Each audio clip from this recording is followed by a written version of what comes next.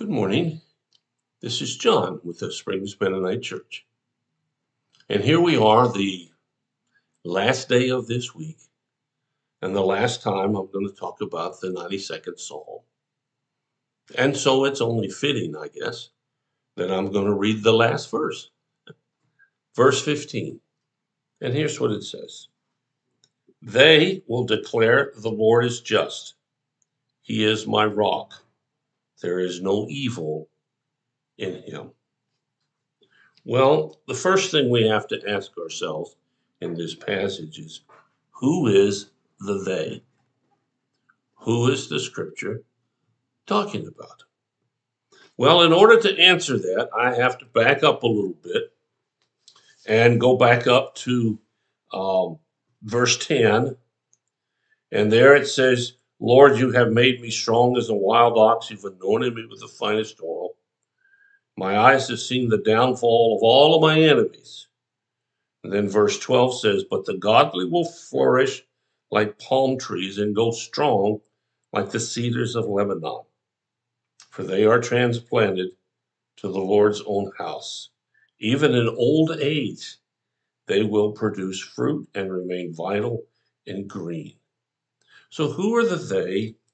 They are the people of God whom God has protected and restored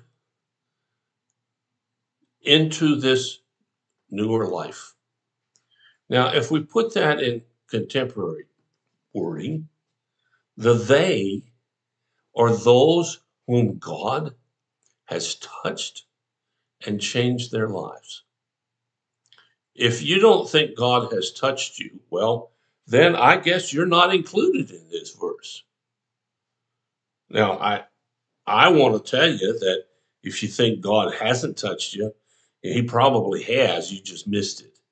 So, to keep it simple but make it a little complicated, just ask him again.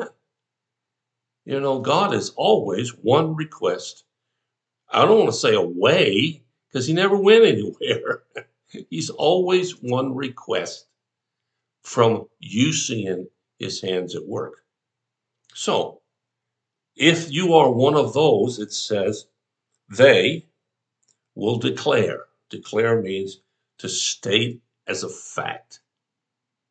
Now, I know in our political scene, unfortunately, in the last few years, as the press secretary once said, there are facts, and then there are alternative facts.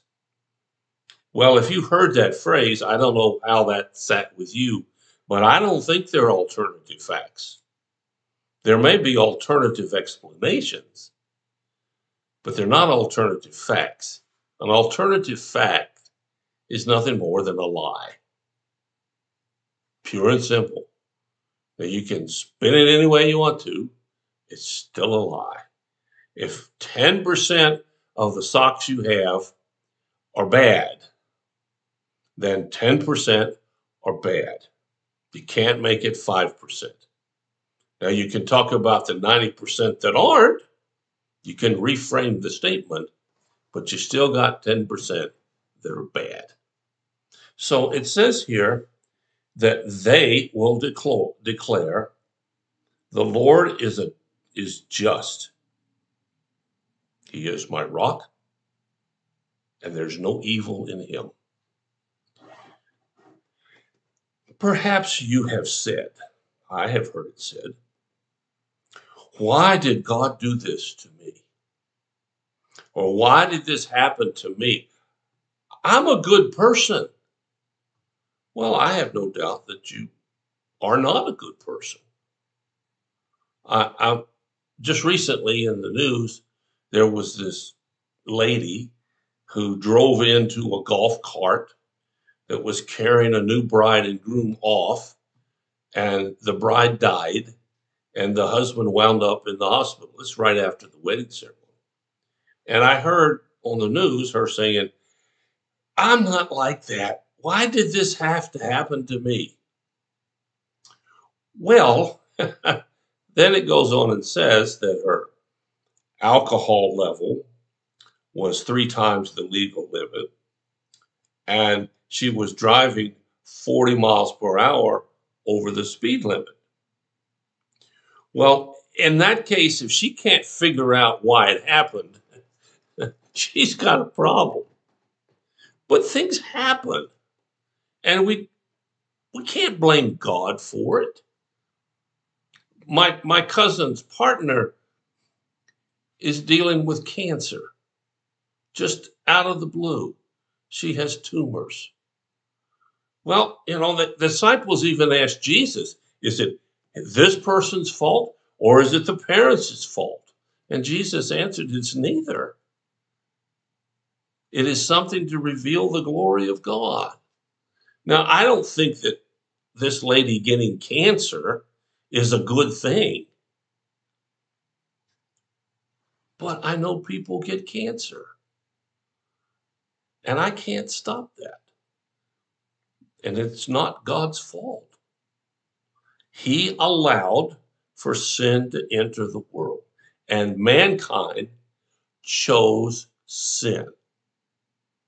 Now, it's like Pandora's box. Once it gets out, you can't put it back in. He made a way to get over that by the blood of Jesus' death, his crucifixion. But the problem of sin is still here. So when something happens, I don't deserve that. Well, maybe you don't. But are you suggesting that someone else does? It says here, there is no evil in him. Let me put it another way God is not trying to destroy you. He's trying to give you life in its fullness. Other things are trying to destroy you your habits, your misactions, somebody else's misaction. If I'm walking down the street and a drunk driver hits me and kills me, it's not my fault. I didn't have anything to do with that driver deciding to consume alcohol before they came at me. But I'm still dead. that didn't change. But in those moments, in those moments when life doesn't make sense, hear the words of the psalmist I will declare the Lord is just, He is my rock. The foundation to hang on to is the Lord in all things, at all times, for all reasons. Well, I hope you'll think about that. I hope you've had a, a good week this week.